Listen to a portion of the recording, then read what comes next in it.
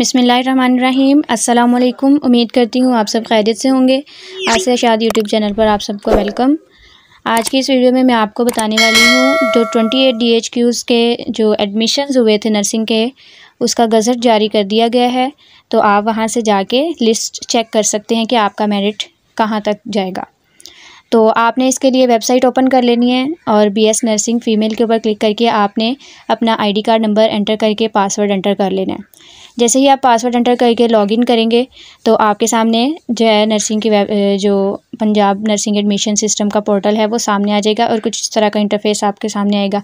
यहाँ पर जो इंटरनेट इश्यूज़ की वजह से नो रिकॉर्ड फाउंड आ रहा था तो आपने उसकी टेंशन नहीं लेनी, थोड़ी देर के बाद वो सही हो जाएगा। तो यहाँ पर आपको जो है, ये देखें तीन ऑप्शन नज़र आ रहे हैं, जो सबसे फ़र्स्ट वाला, जो ब्लू कलर का ऑप्शन है, आपने उसके ऊपर गज़ट के ऊपर जो है क्लिक कर देना है तो आपके सामने सारी लिस्ट आ जाएगी। तो ये जो लिस्ट है, ये एफएससी के मार्क्स के अकॉर्डिंग मेरिट पे बनाई गई है। तो आपने इसमें से अपना नाम चेक कर लेना है। आप किस तरह से ये पूरी लिस्ट भी चेक कर सकते हैं और आप इसको सर्च करके भी, जैसे ऊपर आ रहा है सामने नाम सी और एप्लीकेशन नंबर आप यहाँ पर अपना नाम वगैरह एंटर करके तो अपना जो भी आपका मेरिट बना है, आप उसको चेक कर सकते हैं। कुछ स्टूडेंट्स का यहाँ पर कंप्लीट का स्टेटस आ रहा है, कुछ का रिजेक्टेड का आ रहा है और कुछ के डॉक्यूमेंट्स का इशू है। तो जिनका रिजेक्टेड है, वो तो बिल्कुल लिस्ट से बाहर हो गए हैं, लेकिन जिनका कुछ इशू आ रहा है, उनका वहाँ पर सामने इशू बता दिया गया है।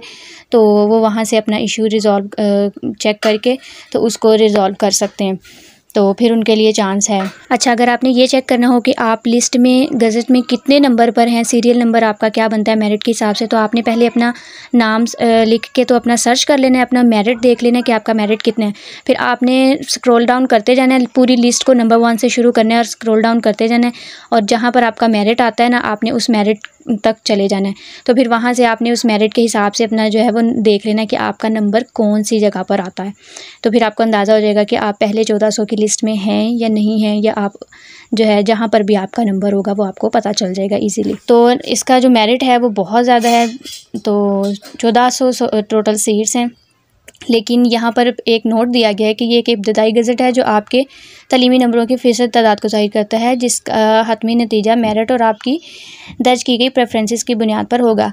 अब जब प्रेफरेंसेस की बात हम करेंगे तो हो सकता है कुछ ऊपर नीचे हो जाए रिज़ल्ट वगैरह मेरिट तो आपने यहाँ से चेक कर लेना है। और अगर इससे रिलेटेड कोई क्वेश्चन हो तो आप पूछ सकते हैं। वीडियो को पूरा एंड तक देखा करें। थैंक्स फॉर वॉचिंग अल्लाह हाफिज़।